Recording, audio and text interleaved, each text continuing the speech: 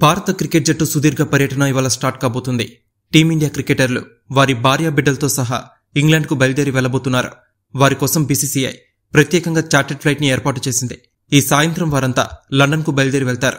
మరుసటి రోజు ఉదయం అక్కడ అడుగు పెడతారు.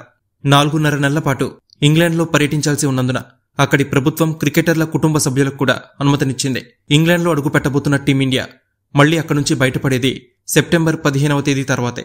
బీసీసీఐ డిజైన్ చేసిన షెడ్యూల్ ప్రకారం జూన్ ఇరవై రెండో తేదీన డబ్ల్యూటీసీ ఫైనల్ ముగిసిన తర్వాత ఇంగ్లాండ్తో తొలి టెస్ట్ ఆరంభం కావడానికి మధ్య నెలన్నర వ్యవధి ఏర్పడింది. అంటే నలభై రెండు రోజుల పాటు టీమిండియా ఇంగ్లాండ్లో ఖాళీగా ఉంటుంది. ఆ తర్వాతే ఇంగ్లాండ్ జట్టుతో టీమిండియా ఐదు టెస్ట్ మ్యాచ్ల సిరీస్ ఆడుతుంది. ఇక విమానం ఎక్కడానికి ముందు కెప్టెన్ విరాట్ కోహ్లీ కోచ్ రవిశాస్త్రి విలేకరులతో భేటీ కాబోతున్నారు. ఈ సాయంత్రం ఐదు గంటలకు ప్రెస్ కాన్ఫరెన్స్ ఏర్పాటు చేశారు. పలు కీలక అంశాలు ఈ సందర్భంగా ప్రస్తావనకు వచ్చే అవకాశం ఉంది.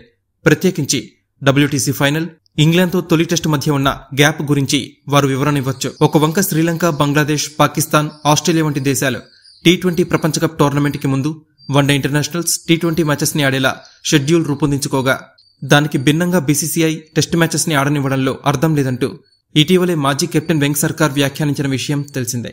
ఇక డబ్ల్యూటీసీ ఫైనల్ తర్వాత టీమిండియా షెడ్యూల్ చూసినట్టయితే తొలి టెస్ట్ ఆగస్టు నాలుగో తేదీన నాటింగ్హామ్లోని ట్రెంట్ బ్రిడ్జిలో స్టార్ట్ అవుతుంది.